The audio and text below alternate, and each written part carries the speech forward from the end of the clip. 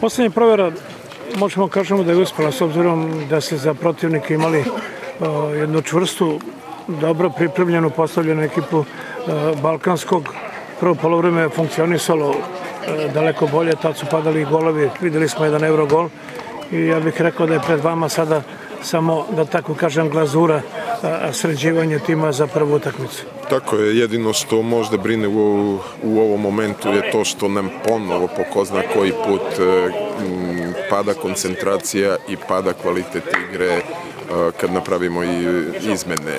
Ja uvek očekujem da to bude, da to bude drugačije, da te izmene podignu nivo, međutim evo ponovo nam se to dešava i bit ćemo, vidi se da ćemo biti u problemu kad budemo morali da, da nešto u toku igre menjamo, pogotovo što evo sad u ovom momentu još ne znamo koliko će biti pauza kod Filipa Đorđevića posle ove povrede, one prve informacije su da svakako prvih nekoliko kola nećemo moći na njega da računamo i e, to je za nas. Kosta. Tako je. Uh, mislim da m, možda u najgore momentu i po njega i po nas jer je uh, došao do sebe, odlično se pripremio, videlo se da znači mnogo za, za našu igru, ali morat ćemo da se strpimo da, da to bude kako treba i da se on vrati.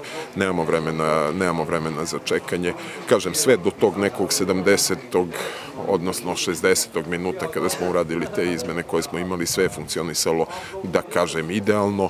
Posle toga mnogo grešaka, mnogo grešaka koje nisu, nisu smele da se dešavaju, naravno može da se uzme u obzir da su ti igrači koji su ušli u drugom polovremenu jutros imali malo jači trening, pa je možda i to posledica toga, ali kažem, svakako ima stvari koje treba da se ispravljaju, ali ima stvari koje ohrabruju i mislim da će to sve biti dobro u prvom kolu. Dobro, imat ćete vremena e, desetak dana da neke stvari ispravite, da krenete u onaj, da tako kažem, normalan tok u oči prvenstva pred prvu utakmicu, tako da će biti vremena, a i još jedna stvar, ipak trening utakmice svejedno, a prvenstvene utakmice drugo. Yes. Stiče se utisak da ste potpuno jasno što se tiče tima. E, potpuno jasno, mi do duše imamo jednu grupu igrača koja danas nije bila, nije bila u planu da igra ovu utakmicu, to su oni koji imaju prava da igraju za omladinsku ekipu, oni će u nedelju imati takođe jaku proveru koju ćemo koristiti da to bude njima generalna proba. Ovim igračima je ovo danas bila generalna proba i mi već od danas krećemo u jedan, u jedan onaj period kada treba ekipu opustiti, kada treba postaviti sad linije, odraditi neke, neke taktičke varijante, neke taktičke zamisli, ponoviti i to je, to je sada ono što nas očekuje do 15. marta. Generalno sasvim kratko ocena, pripremni period je prošao dobro, odigran dovoljan broj utakmica, radilo se i prepodne i popodne, igrači su spremni. Tako je, mi smo sve do danas radili dva puta dnevno, spremni su, to se, to se i videlo, ovo je danas bio stvarno jak tempo i kod jedne i kod druge ekipe, dosta se trčalo što se toga tiče, sve je u redu.